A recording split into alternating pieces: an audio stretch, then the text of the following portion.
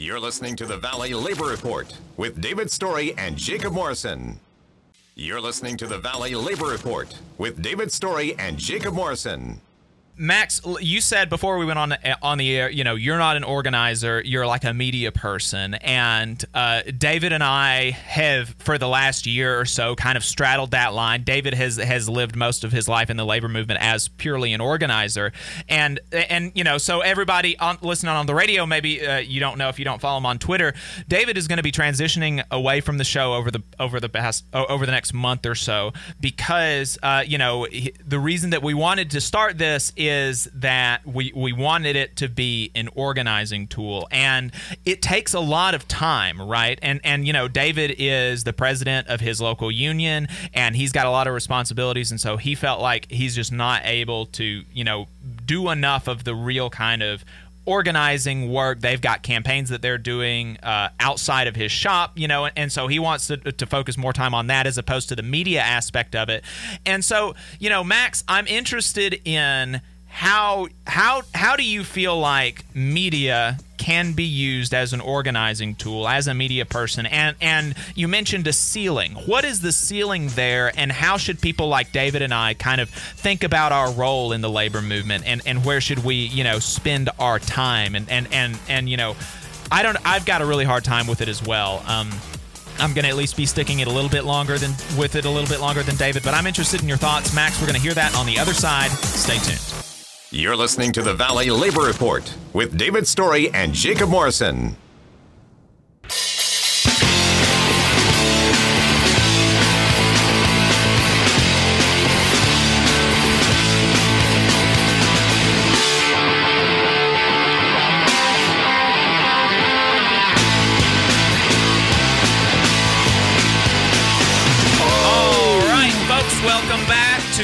Labor Report. My name is Jacob Morrison here with my co host David Story on the line. We've got Dr. Maximilian Alvarez of the Working People podcast and editor in chief of the Real News Network. So, like I said on the other side of the break, David is going to be transitioning out of the show over the next month or so to devote more of his time to like actual, not media organizing work. And David, was there anything that, that, that you wanted to throw out there that I that I didn't highlight on the other side? No, I mean, I would just say, you know, I do not have an aversion to what we're doing. I think what we're doing is extremely important work. I think what Max does is extremely important work. Uh, and there's a lot of people out there doing this type of work that's, you know, it, it's that's. I mean, if it hadn't been for Max, I, I, I mean, and I've never told Max this, but I think you would agree. If it hadn't have been for Max really jump starting us when we before we ever even got on air, mm-hmm. I don't think we would have seen the traction uh, that we did early mm-hmm. on. But but and right. and so and I say that, and, and also to say that you know I've listened to all these podcasts and I love them. Every everywhere I go, whether I'm at work uh, what I've got my headphones in and I'm constantly learning. Mm-hmm. So it's not that I have an aversion to it, and I don't think it's not that I don't think that it's unimportant. It right. is the problem that I have is splitting time mm-hmm. and devote because this for what for what anybody thinks uh, out there that listens to a podcast every week mm-hmm. and it's an hour, hour and a half, maybe two hours long. Uh, the amount of energy that yeah. goes into that yeah. the prior week. I mean, it is just overwhelming, you know. And I'm mm-hmm. I'm already at sixty hours a, a, week working, at least another ten to fifteen with the union. Mm-hmm. I, I mean, there's only so many hours in a day, so you right. know, I just want people to know that I think this is good work. I will I will be I will be so happy to be able to listen to the show and not have to schedule and yeah. and deal with the back end. So yeah, I mean that's pretty much it. And I don't and it's not that I don't think this is not a good organizing tool. I think it's an yeah. exceptional organizing tool. It's just not it's not what my my passion is mm-hmm. talking to people face to face and shaking hands and feeling the the camaraderie and the love that you do not get uh, across or through a radio show or through a screen. It's just it's so impersonal for me, Yeah. and I just I can't. It's been difficult. Mm-hmm. So yeah, So Max, what are your thoughts? Well, my first thought is, um, you know, perhaps for someone who never anticipated uh, or never saw themselves for being on the radio, um, David has been a gift to left media and labor media um, over these past months um, because of what you just said, David. I mean, I think that in a lot of ways, my own kind of desire to to use media uh, in a way that is useful to working people, right, and to offer media as something that can be an organizing tool, that can be a tool for building solidarity amongst working people, not only in the United States but internationally, right? I know that that's a very uphill battle, right? But um, you know, really, I am guided by that same desire that you were talking about, right? To to have those human moments, right? To really kind of um, listen to people, right? And and to genuinely communicate that that listening is not conditional right? I'm not i'm not i'm not here to sit and listen to your story only so long as you say the right thing hmm. right? Or or you you give me what i'm looking for. I really just you know in a lot of ways imagine myself as kind of sitting at this table in the digit in this fast paced kind of digital world wanting to kind of hold someone's hand look them in the eye and and assure them that I'm here to listen to them for an hour and a half, uh, talk about their life, and and make sure that they know that their life and their story matters, um, that their story deserves to be told, and that they're not alone in this world, right? And and I think that that you know if we can, the, we'll never be able to, like you said, David, it'll never be a replacement for the kind of face-to-face kind of interaction that you need to have as an organizer. But i think it's like the the you know the closer that we can get the close the more that we strive to get to that point with media the more that we try to bridge that kind of gap between us in a world where we are already so alienated from one another uh, the better. Yeah. what, what about you jacob I, you know, I, I, I def, I agree with that. I think it can't, you know, like, uh, you know, like David, I've got, I've got stuff in, in that I'm doing in my union, and I'm on the elections committee now, and so the last few weeks have been, uh, have been pretty busy for me. you know, and I think, but here's the thing. But because I hear the hesitation in your voice as well, and I think what Yeah. people have to, people that listen to the show, and especially, you know, not the listeners in our radio audience, the people that are going to hear the show in Washington State or Portland or Baltimore or, you know, maybe even uh, uh, uh, Austin, they don't.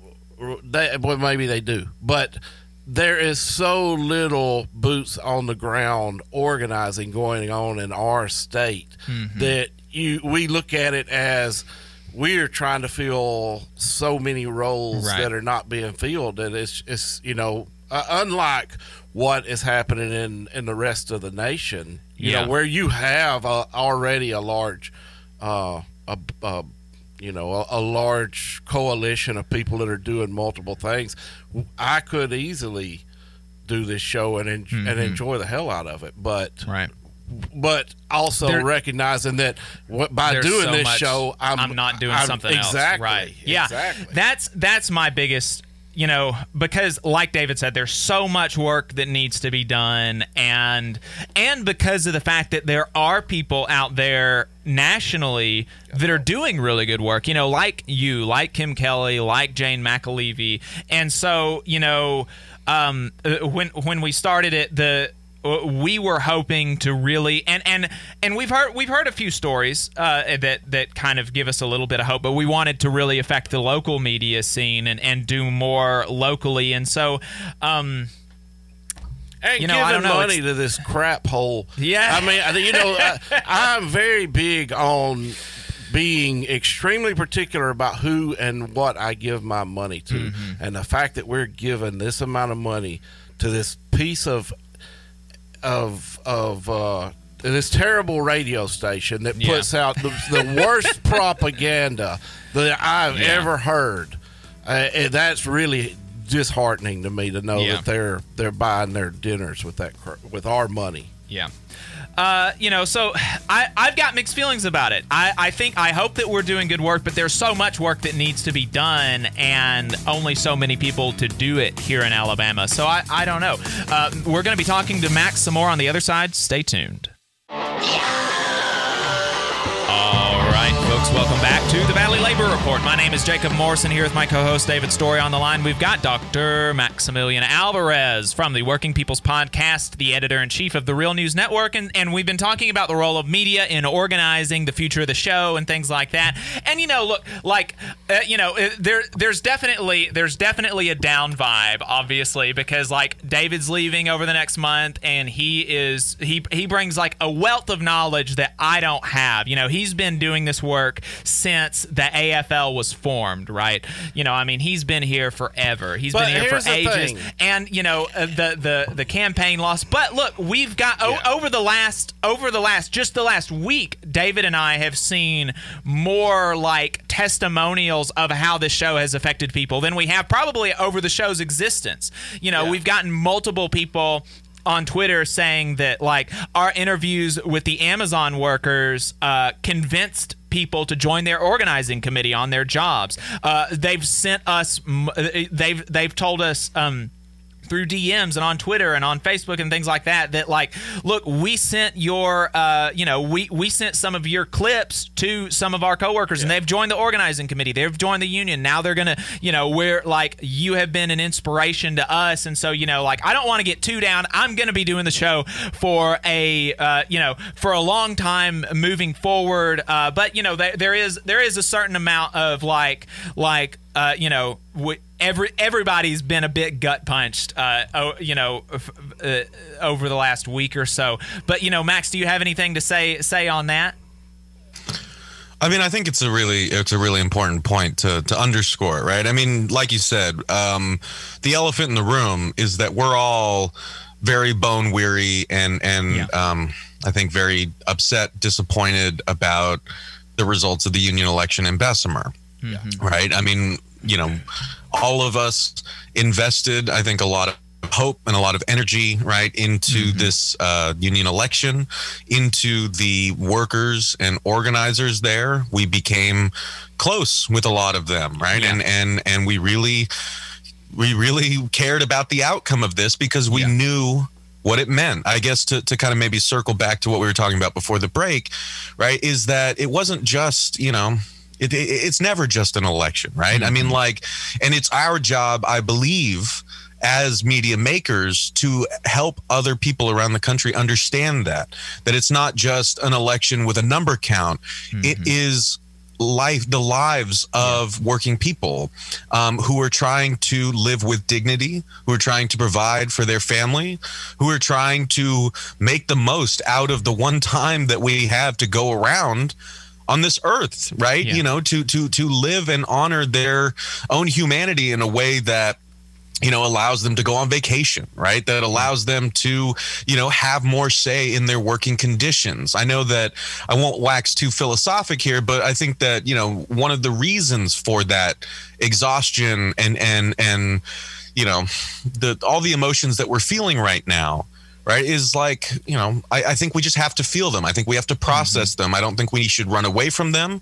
Um, but i think that you know i just wanted to kind of be upfront with people that you know the the obviously we are all losing uh, a lot with um, with david kind of departing from the show. But i think that you know his reasons make tons of sense uh, for doing so. Um, but you know, as far as kind of our feelings about the Amazon um, union election, right? I think that that you know there is a real kind of basic point that um, you know the, the the people who whose lives are going to be impacted by this are the ones that we're thinking about, and that's that's why we're so you know kind of deflated right now. Yeah, yeah, and and you know I've seen a lot of. Um, a lot of talk radio personalities across the state, uh, some conservative politicians, uh, conservative think tank folks, um, conservative politicians across the country really gloating over the workers' loss here in Bessemer. And um, I've had to not respond, you know, because I, I'm, you know, it. Really in my feelings about it um, because you know like like you you know it, the if I responded it would have been it, it wouldn't have been good for me or, or, or for it, it would have just it would have been very emotional and and and I'm still very you know I'm still very emotional about it. You know like like you said Max like this isn't this isn't you know like a like a damn game to us. You know like we we got close to the organizers. Like they're I, you know, th- there are brothers and sisters now. Josh Brewer, Randy Hadley, Jennifer, uh, uh, uh, you know, Jennifer Bates, Darryl Richardson. You know, those folks, like, they're my family now, and I care about them, and I care about their lives and the lives of their coworkers and what's going to happen to them. And, like, uh, it's you know it's it's not a game and and when I've seen these these folks gloating about like it's Here's- I, here's it's something- literally raised my it's I have been red in the face Here's about something it. that, I mean that people that those people need to come to grips with, and it's something that I try to bridge the gap, being the old white guy in the room. Uh, if you're a conservative listener out there, and and you reveled in the loss of Amazon.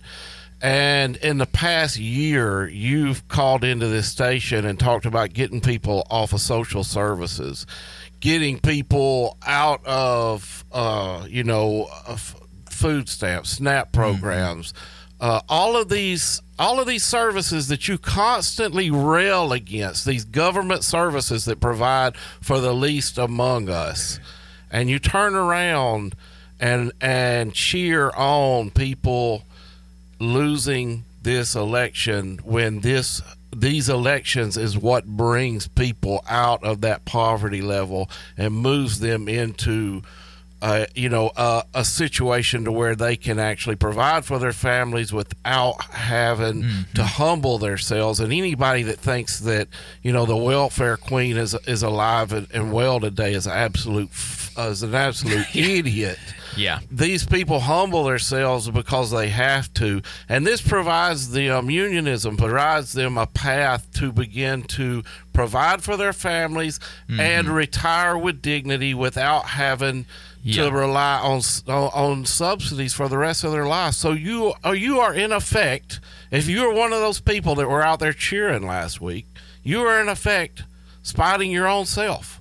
You know, it's it's it's insanity. You Yeah. there there's no there's no uh, there's no other path.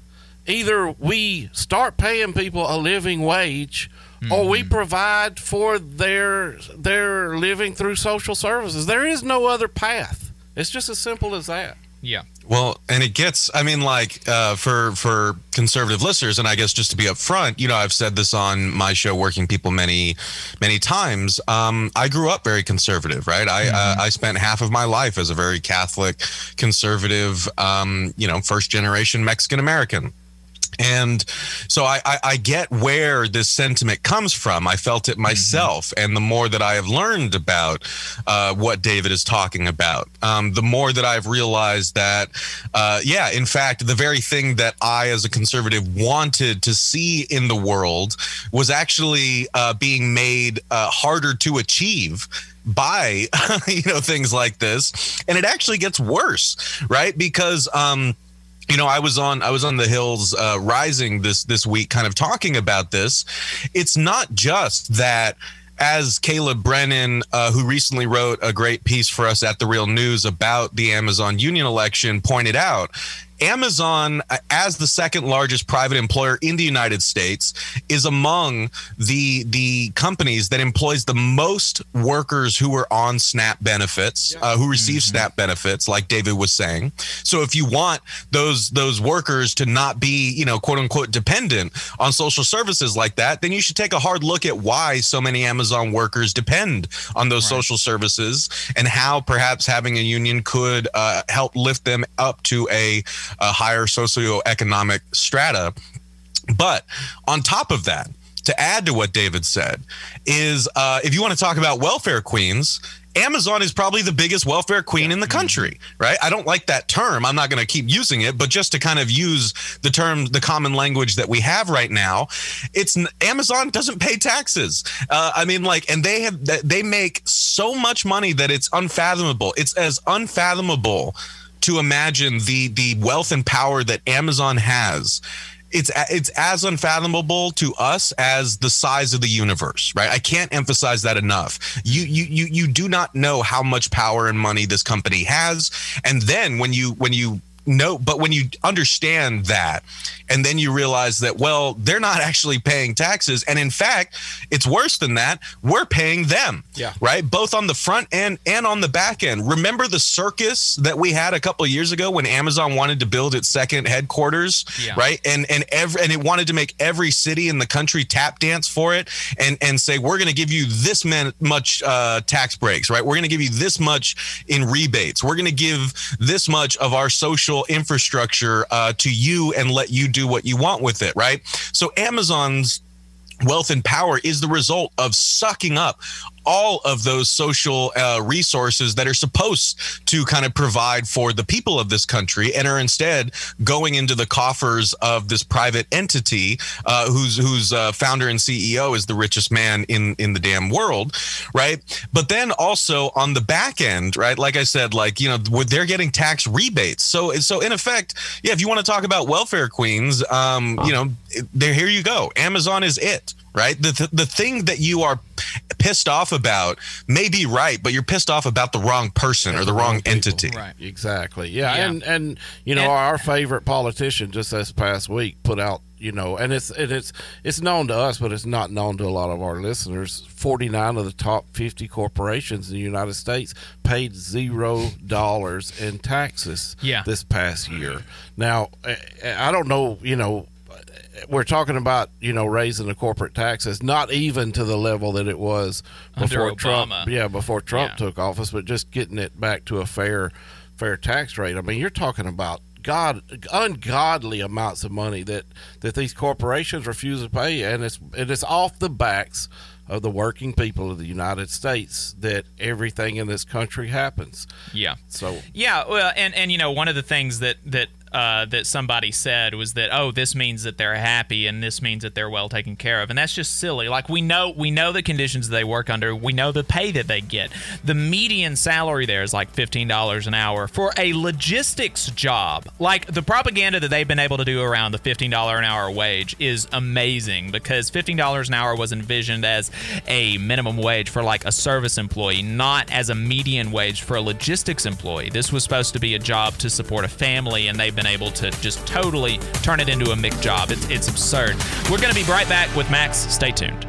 You're listening to the Valley Labor Report with David Story and Jacob Morrison.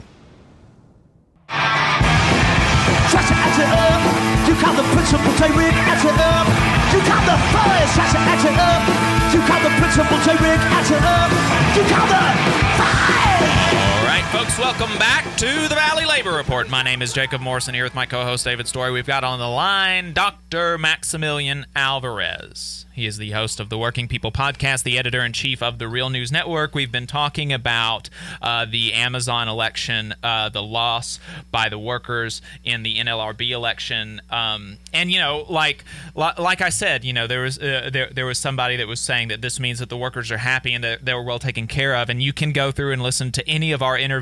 I would recommend I would recommend even more than ours, honestly, going and and listening to Max's interviews with Jennifer and Darryl because they were able to get into it more. But you can listen to ours too. They're like the working conditions there are not good, right? And they don't get paid enough for what they do. And any other time people could agree to that because this is logistics work. Like this is a job that in a prior in a prior era you could support a family on one income Okay, and so uh, the the loss does not mean that they're the, the loss of the workers, the win by the company, does not mean that they're well taken care of. It means that they were scared out of uh, voting for uh, voting voting to organize because I mean we know for a fact that Amazon violated the law. We know for a fact that they did everything within the law that is coercive and intimidating in nature to get people to vote against the union, uh, to get people to vote against organizing for better wages and working conditions because. Um, they don't they don't want to do that. They don't want to they don't want to make sure that their workers are well taken care of. And so I don't want to hear anything about like oh well they're well taken care of. That's a silly that's a silly position to hold, and, and especially and you know I don't know like I, the organizers there, I know they poured their heart and soul into it. They worked day in and day out. They missed dinner with families. They missed time with uh, with wives and children and and and and communities and churches. Uh, you know, I mean, they took like they have been in this fight for twenty four seven uh, for the past six months, and they've given it everything that they had. You know I'm sure that if they had stuff to do over again, that there would there may be things organizing wise, technique, strategy that they would do a bit differently. But uh, but you know, primarily, I think, especially for the purpose of this show, like the the we've got to we've got to talk about and we've got to broaden the understanding of the terrible, awful, no good, illegal, coercive tactics that Amazon employed. Um, you know, but uh, um, and, and, you know, and, and, Max, if you've got if you've got any anything else to to say about that, but the the next thing, you know, uh, I wonder about. You said that you had some self reflection on covering the Amazon campaign, and there are a lot of media that that's going to be going through some some kind of self reflection and, and, and perhaps even some self criticism on on the way it was covered and how how how everybody how we covered it. What you know, in, any thoughts on what we should foreground in the loss of the election, and then some reflection on the media in in in this election. Yeah, for sure. I mean, I guess like I'll I'll kind of work my way through the progression there, and we may have to talk about the media thing after the next break. But um, I think it's really important what you just laid out, right? And I think one thing that I I want to underscore for people is that for a country uh, that feels like it has the right um, to judge the the uh, democracies of other countries right? Uh, Americans are very quick to kind of assume that this union election unfolded in a way that was fair and democratic. It was not, and in fact, the as you guys uh, have been really uh, exceptional at pointing out week after week, right? Any union election in in any workforce that is trying to unionize is going to be facing an incredibly mm-hmm. steep uphill battle uh, that is the product of decades and even centuries of anti worker culture and anti worker legislation that has been designed uh, to put all the cards in the hands of the bosses and to make things as difficult as possible for workers uh, to to unionize and have democracy in the workplace right? So if we if we're re- really rushing to kind of say well you know the fair democratic you know and and, and objective kind of process decided emphatically that workers do not want a union it's very much uh, more complicated than that. Um, but you know, before we get to the media thing, I think I just want to kind of really, really put my cards on the table here and talk about where I'm at right now. Right, we we mm-hmm. learned yesterday that the union vote was defeated, uh, soundly mm-hmm. defeated by the process that the NLRB has set up. We know that the RWDSU is now kind of filing a motion uh, demanding that the NLRB investigate Amazon's illegal uh, union busting tactics over the course of this election. And there's a lot that uh, a lot of information that still needs to come out about that. So here's where I am in all of this. Yeah. Well, right? and really quick though, I mean, it's it's theoretically possible that even under fair circumstances the union could have lost, but I think the extent of their law breaking is going to give the union a free chance to do a rerun if they want it. And you know, that's really Amazon's that's really on Amazon that, that they broke the law so flagrantly that if if the union wants to and if they believe they've got a shot, that they're going to have another go at this, I think. But I'm I'm sorry. I just I wanted to throw that out there. No, I mean, I think I think you're absolutely right, and I mean, these are discussions that need to happen, right? There needs to be a lot of honest, uh, and and I think, um, you know, serious reflection on the election itself, the union campaign. Uh, as I've said before, um, I'm not an organizer. I don't feel it's my place to really kind of participate in those discussions. I just want to learn what I can from them. But uh, you know, what I was saying is that at the moment, I I can't even really bring myself to do that just yet, right? You know, when yeah. we were kids and and you know you remember those moments when you know your friends just kept kind of running along but you needed to kind of just sit on a rock give them a wave and say you know you guys go on ahead i'll i'll catch up yeah. Right? That's that's basically where i'm at right now right? I see i see a lot of takes flying around online a lot of people rushing to make you know bold conclusions uh, about this election from a picture that I think still needs to get a lot clearer before we can do an effective and and respectful uh, post mortem or whatever you want to call it. I personally don't like that term. Um, I also see, you know, a lot of people rushing to judge the union as if a lot of thought did not go into this campaign and the decisions that were made. You can think they're the wrong decisions, but do not delude yourself into thinking that the union was just bumbling its way through this. We know that's right. not true. But of course, you know, I, I also see a lot of smart and useful analysis being offered and a lot of love and, and solidarity being expressed towards the workers and organizers in Bessemer, you know, for for for showing us what bravery and and a righteous cause truly looks like. Right. I, I see a lot of stuff happening right now but frankly, I just need to sit on a rock uh, and and you know I'll catch up in a bit. You know, yeah. I, I need time to process. And maybe that's because I'm too thin skinned, right? Maybe this is where we get to the media thing. Maybe I'm just too much of a sap, right? Mm-hmm. And and anyone who knows anything about me knows that it's no secret that I am a big, dumb, emotional sap, right? I mean, I can't I can't even focus on the news that I need to keep track of right now as it comes out because as we were saying I, all i can think about are the workers and organizers back there you know all i can they're all i'm thinking about right now um, I got I got to see just a small sliver of the marathon that you were talking about, J- Jacob. The marathon that they've been running for many months. Darryl mm. Richardson, Jennifer Bates, Big Mike, Randy Hadley, Joshua Brewer, Adam Obernower, all yeah. of the many people that I'm also leaving out. Right? I just want to give them all a big mm-hmm. hug and remind them that we yeah. love them and we are with them always. And now, you know, I am I am left reflecting on what that means for us in media, like you know what that means for me in in in my role in the media. Um, I I don't know, but I, that's that's kind of what I want to reflect on. But frankly, um, you know, right now I just don't have it in me to kind of think about what steps to take away from this. I'm just in it, present at the moment, thinking about the human beings behind this this Amazon Union election. It's yeah. it's so difficult for me, and this is kind of where and, and I'm not going to criticize the media uh, on air.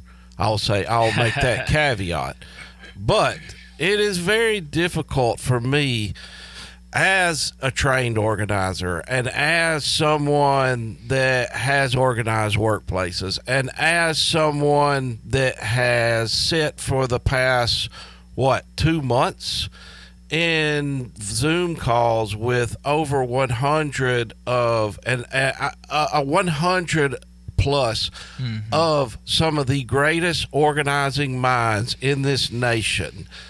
Uh, some of my best friends that that that I've uh, made along the way to criticize these people without understanding what went on in mm-hmm. in those calls is is flippant, you know, and and yeah. to and and I realize the media plays a part, and I think critique is an important part of that, but without knowing, and and a lot of them would say, well, well y'all didn't tell us. Well, no, we're not going to tell you. We yeah. don't. We, we're not going to sit here and lay out all the cards on the table for you to report on it as this unfolds. Because who reads those cards? Right. You know, the dealer and the dealer is Amazon. And even after to try to come in one day after and and critique and make some of the comments that I read was just like I don't know, man. It's really yeah. it's really hard. It's hard for me to watch because mm-hmm. it's like I said yesterday. You know, the greatest minds are on Twitter. Just ask them if you don't believe me. And yeah, you know, and it's, it's unfortunate, yeah. but that's where we're at. But that is where we're at. I think it's incumbent upon the organizers that were doing the work to critique themselves and, mm-hmm. and damn the media. Yeah, yeah. Well, yeah. I mean the. I mean, like Max said, and like David said, I mean, we there's just so much, so much love and solidarity flowing from us to those folks in the RWDSU and at Amazon, and so um, we're going to talk about the mine worker strike on the other side. Stay. You're listening to the Valley Labor Report with David Story and Jake. Put it there, boy. We'll show these fascists what a couple of hillbillies can do.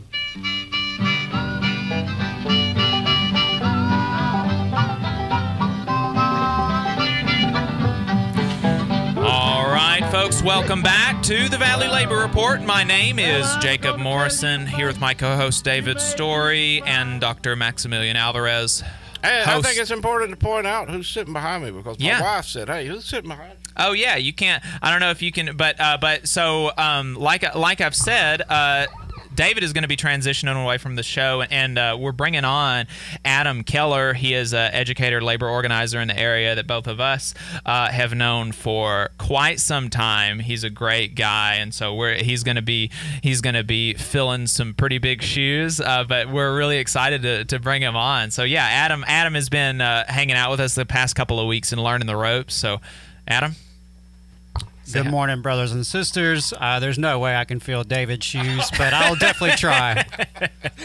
You, may, you Yeah. can feel my shoes. You may not be able to feel my pants, but I can promise you, you can feel my shoes. my shoes aren't too big. My pants, on the other hand, has kind of increased with my numerical age bracket. Unfortunately, Yeah, well, you know, today, today, you know, we're just we're we're just hanging out. We're in our today, and and you know, there's like a uh, you know, that w- with all the back uh, backseat quarterback, and you know, one of the things was that oh, they should have stuck with the original unit. You know, originally they wanted to, they only wanted 15 the, to to go for the 1500 member unit, um, and and Amazon said no, you got to do it wall to wall, and they had the cards to to do a wall to wall election, and so they went forward with that decision, and it's hard to fault them for that. You know, hindsight maybe has some more clarity clarity maybe they should have fought the battle to keep the unit smaller but you know i mean hindsight's 2020 uh, with where they were it seemed it seemed like the right decision to us you know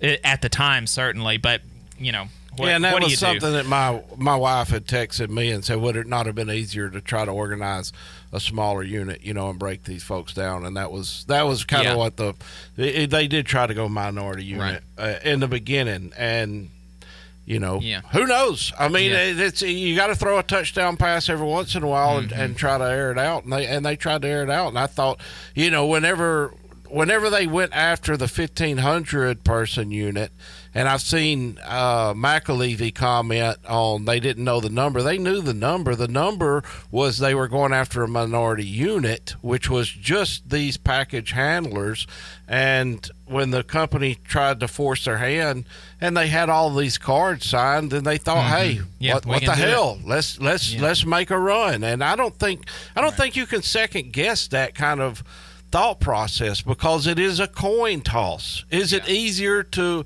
organize a minority unit? Absolutely. But when you're sitting on almost 2000 3,000 cards, cards, right yeah. then and you're like i don't know man uh, but at the same time when you did not realize that the turnover is 20 to 50 employees per day and i think that's something that has gotten glossed over and nobody is looking at in a in a six 6000 uh, employee workplace that 20 to 50 of those people are walking out getting walked out Mm-hmm. every day that is i don't care uh, jesus could come Yeah. to Amazon Bessemer and have a difficult time Yeah.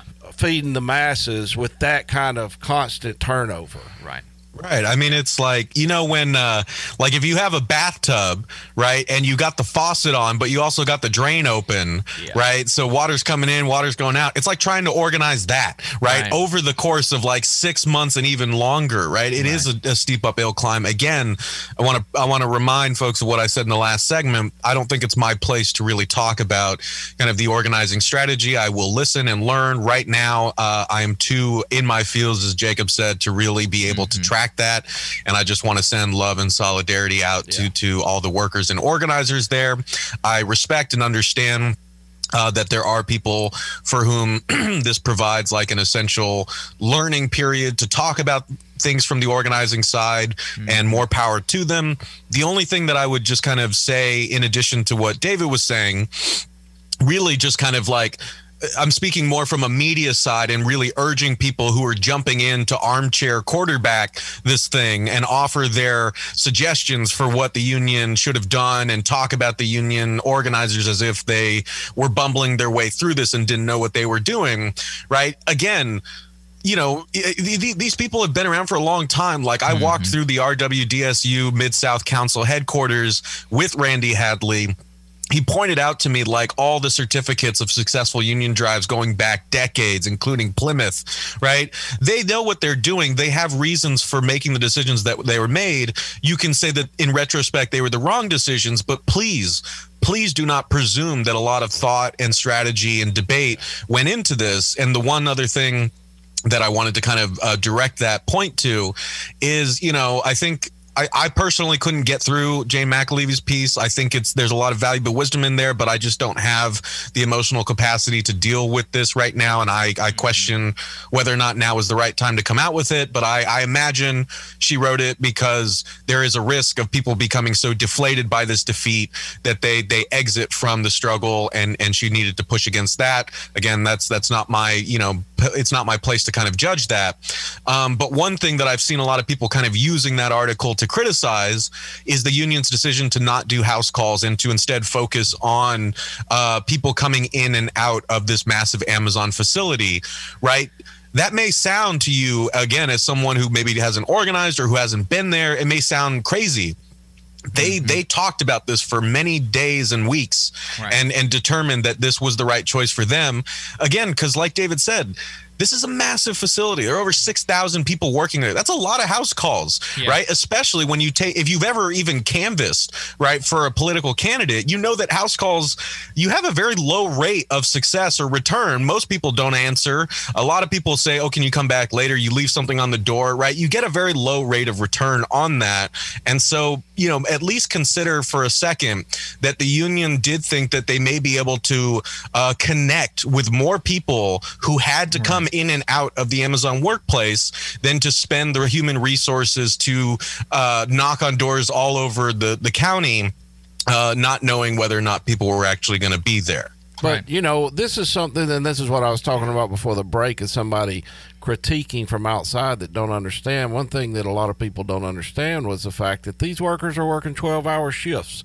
They're on this crazy ass three on, three off, four on, four off mm-hmm. type of. You don't know uh, what days these employees are working, what days they're not. They're working 12 hours a day. When they get home after you've worked 12 hours a day, you've got 12 hours to eat, sleep, and prepare for work tomorrow.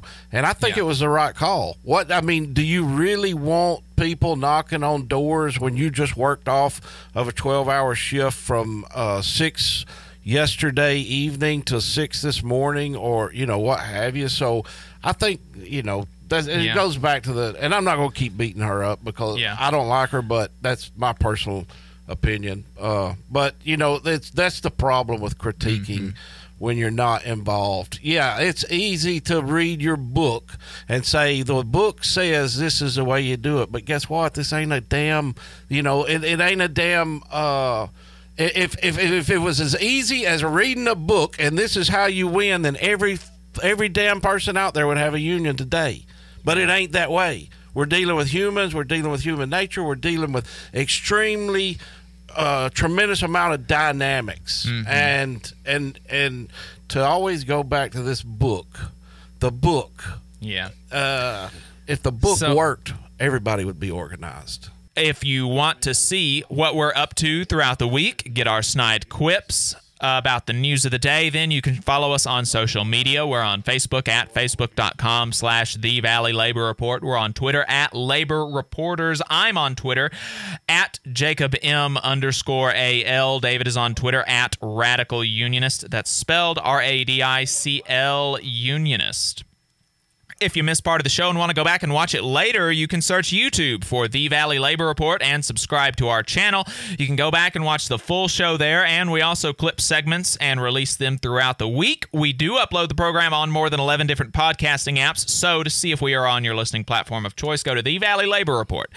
Transistor.fm slash subscribe. We've got a website where uh, you can buy our hat, thevalleylaborreport.org. You can also get some uh, stickers there as well. And finally, if you appreciate our work and want to help us stay on the air, then consider throwing us a couple dollars a month on patreon.com slash the Valley Labor Report. As you can tell, if you're watching the screen, uh, the, the stream, we've got uh, we we've we've got a messed up monitor. So we're gonna uh, we're, we're gonna be either having to pay for a repair for that or I mean it's my fault. So I'm going to be paying for at least some of it out of my pocket, uh, and maybe some out of the show funds. But you know, have to gonna have to repair, pay to repair that, or get a new one, which is a bummer. But you know, anyway.